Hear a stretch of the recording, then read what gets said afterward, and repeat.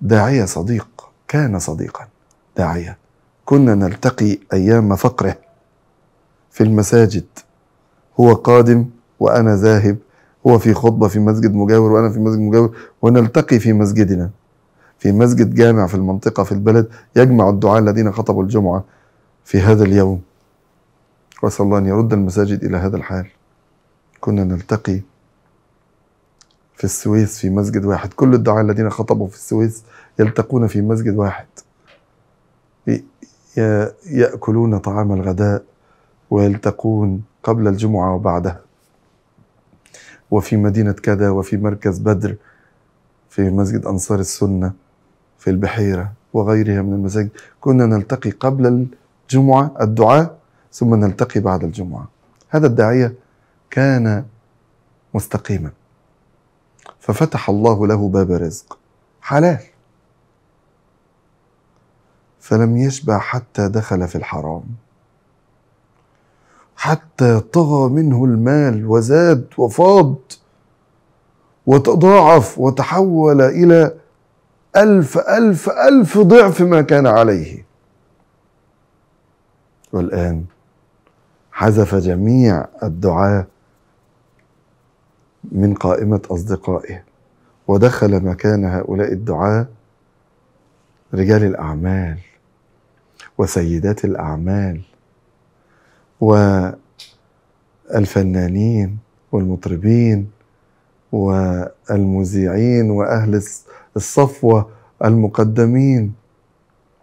وصار هذا الداعية من بعد العمامة والغترة والدعوة.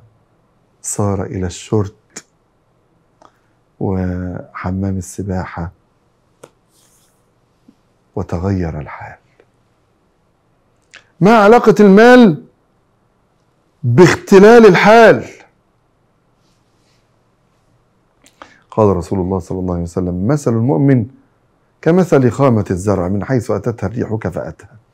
النهاردة الولاد فيهم حد ثانوية عامة خلاص ما يجراش حاجة. ثمان شهور هيضيق الحال.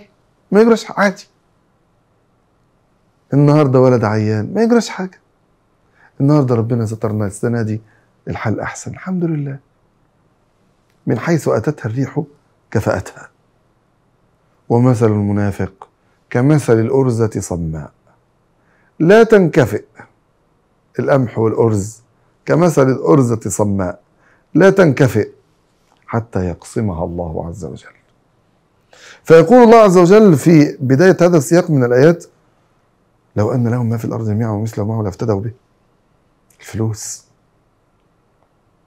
يوم القيامة تجمع المال تقول آه، آه، ما تدخلنيش جهنم يا رب. كل الفلوس دي كلها وما تدخلنيش جهنم. لو أن لهم ما في الأرض جميعا ومثله معه لافتدوا به. أولئك لهم سوء الحساب. سوء الحساب. أليس الذي يحاسب هو الله عز وجل؟ نعم. الله يحاسب حسابا يسيرا وحسابا عسيرا وحسابا سيئا.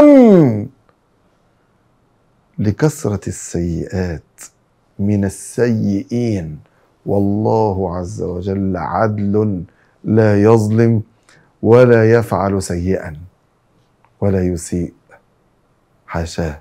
وإنما الحساب سيء لأن سيئاتهم ستملأ ميزان الله. لأن السيئين سيقومون أمام الله. اللهم أجرنا من ذلك. ذهبت أيام الحسنات وحلت عليهم السيئات. وفي نهاية هذا السياق وبعد ذكر صلة ما أمر الله أن يوصل وذكر الذين صبروا ابتغاء وجه ربهم وذكر الذين يطمئنون بذكر الله عز وجل وذكر الذين لهم الحسنى. سيقول الله عز وجل الله يبسط الرزق لمن يشاء ويقدر وفرحوا بالحياة الدنيا وما الحياة الدنيا في الآخرة إلا متاع.